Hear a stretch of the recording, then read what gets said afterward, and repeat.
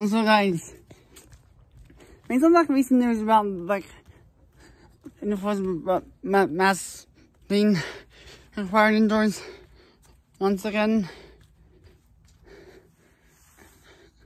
Anyways, there's like a sign I want to show you. Six Flags and other entertainment corporations really want everyone to get vaccines, so go and get vaccines. And no, vaccines are not dangerous, they're beneficial.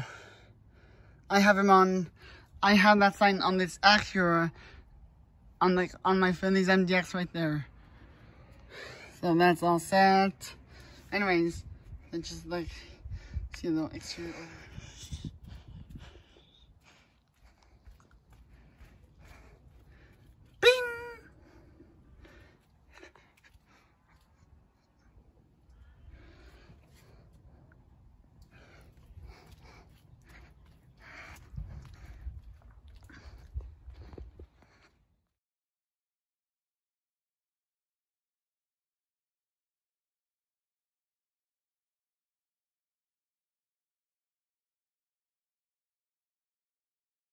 And then you guys come with me, and then your viewers come with me this way.